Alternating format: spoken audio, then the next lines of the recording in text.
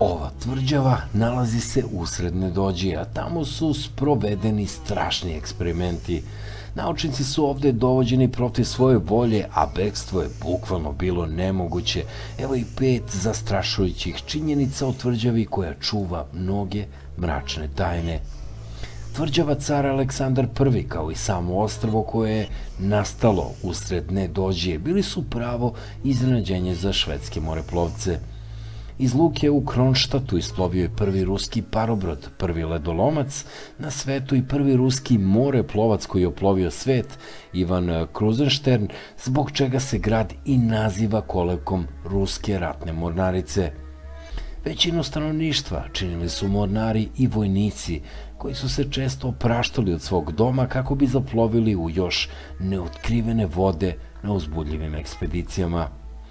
U vreme sovjetske krize, kada su prodavnice u velikim gradovima zjapile prazne, police u Kronštatu nudile su sve što je stanovnicima bilo potrebno. Ipak, sa njega je bilo teško otići, baš kao i doći. Tamo su se razvijala i testirala nova oružja, a obavljali su se vojni i medicinski eksperimenti. Brojni stručnjaci su dovedeni protiv sobstvene volje upravo ovde, a neki od njih su pokušali i da pobegnu. To im nije polazilo za rukom, kako zbog čuvara koji su ih držali na oku ili nišanu, kako zbog vodene, odnosno ledene izolacije.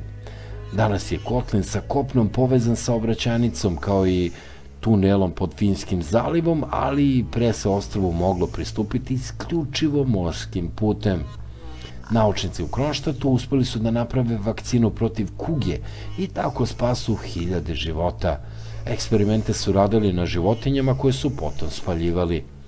Brojne istraživanja radile su se u potpunoj tajnosti, poput, na primer, radijacije koje su bile podvrgnute životinje u kojima su svedočili tadašnji stanovnici Kotlina. Inače, Kronštad ili Krunski grad nalazi se 48 km zapadno od gradskog jezgra Sankt Petersburga. Njegovo ime je nemačkog porekla, to je sintagma od krone, odnosno kruna plus štad ili grad, odnosno Krunski grad.